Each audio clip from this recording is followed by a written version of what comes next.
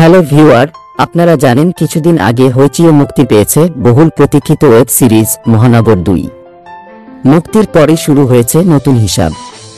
প্রথম কিস্তির তুলনায় দ্বিতীয়টিতে ওসি হারুন চরিত্রে কতটা উতরাতে পারলেন মোশাররফ করিম। এবারের সিজনে কি কি চমক রয়েছে, এমন নানা প্রশ্ন ঘুরছে দর্শকের মধ্যে। মুক্তির পর সিরিজটি নিয়ে সামাজিক যোগাযোগ মাধ্যমে চলছে আলোচনা। কিন্তু কেন মহানগর দুই দেখবেন জেনে নেওয়া যাক সিরিজটি দেখার সম্ভাব্য পাঁচটি কারণ। প্রথমত, মহানগর দুই এর গল্প এবারও নানা চমক ছিল। গল্পের উপস্থাপনাও ছিল ভালো। এজন্য সবার আগে বলতে হবে, সিরিজটির পরিচালক আশফাক নিপুণের দক্ষতার কথা। ভালো একটি গল্প টানটান উত্তেজনার মধ্যে দর্শকদের সামনে এনেছেন। গল্পের শুরুটা মহানগর সিরিজের পর থেকে। এবারের পর্বে শুরুতেই দেখা যায়, একটি কক্ষে জিজ্ঞাসাবাদের জন্য আটকে রাখা হয়েছে ওসি হারুন চরিত্রের অভিনেতা মোশাররফ করিমকে। অপরাধের দায়ে পুলিশের এক কর্মকর্তাকে আটকে রাখার ঘটনা। জিজ্ঞাসাবাদ সেখান থেকে নতুন গল্পগুলো ডালপালা ছড়াতে সহায়তা করেছে। জিজ্ঞাসাবাদের মধ্য দিয়ে উঠে এসেছে ওসি হারুনের চরিত্রের ফ্ল্যাশব্যাক। সেখানে তার দুই শূন্য বছরের ক্যারিয়ার ঘুরে ফিরে এসেছে। একটি অতীত ঘটনা এমন, ওসি হারুন থানা থেকে বিদায় নেবেন। তাকে একজন কাউন্সিলর ফুলের শুভেচ্ছা পাঠিয়েছেন। মোশাররফ করিমের সংলাপ শুধু ফুল পাঠাইছে? আর কিছু পাঠায় নাই, উত্তর আসে না।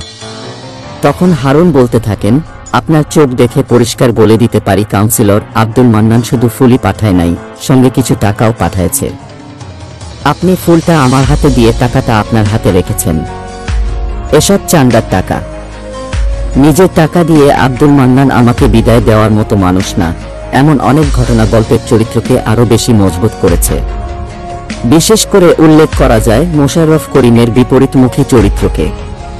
ঈদে মোশাররফ করিমের কাজ নিয়ে আলোচনা বেশি হয় সেটা নতুন কিছু নয়। তবে এবার নতুন করে মহানগর দুই দিয়ে আলোচনায় থাকবেন এই অভিনেতা। দুই, অভিনয়শিল্পীদের বাজিমাত।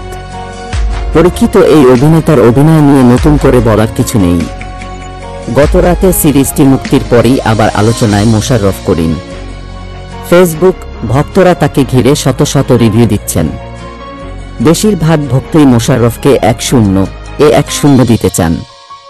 কারণ তার অভিব্যক্তি, চাহনি, কথা বলার ধরন নাকি ভক্তদের চোখ সরানোর সুযোগ দেয়নি। কেউ কেউ বলছেন, মোশাররফ করিম অভিনীত মহানগর দেশের অন্যতম ওয়েব সিরিজের তালিকায় জায়গা করে নিচ্ছে একটি দৃশ্যের কথা বলা যাক।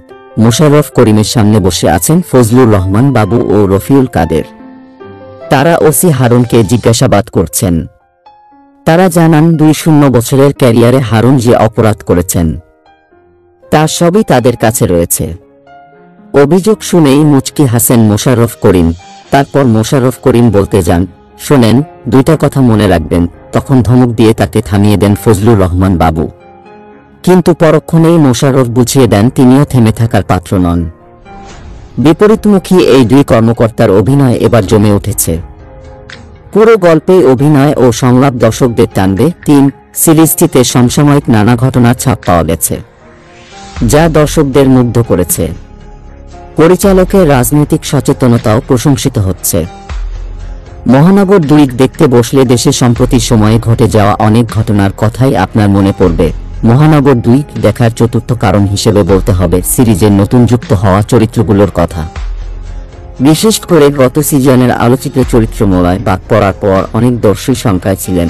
না জানি দ্বিতীয় সিজন কেমন হয়। তবে দ্বিতীয় সিজনে নতুন আসা চরিত্রগুলো দর্শকদের যেন আরও চমকে দিয়েছেন। সিরিজে আফসানা মিনিকে দেখা যাবে নেত্রীর ভূমিকায়। তিনি নির্বাচন করবেন। হঠাৎ তার জনসভায় বোমা হামলা হয়। এছাড়া ফজলুর রহমান বাবু, বৃন্দাবন দাস, তানজিকা আমিন দিব্যজ্যোতির অভিনয় প্রশংসা পেয়েছে। পঞ্চম কারণ হিসেবে অবশ্যই বলতে হবে শেষ দৃশ্যের চমকের কথা। সেই অংশের গল্পটা দর্শক দেখে নেবেন। তবে একটা চমকের কথা বলে দেওয়াই যায়, সেটা হলো পশ্চিমবঙ্গের অভিনেতা অনির্বাণ ভট্টাচার্যের উপস্থিতি। মহানগর দুই এ অতিথি চরিত্রে অভিনয় করেছেন তিনি। এই প্রথম ঢাকা ও কলকাতার দুই জনপ্রিয় অভিনেতাকে একসঙ্গে দেখেছে দর্শকেরা।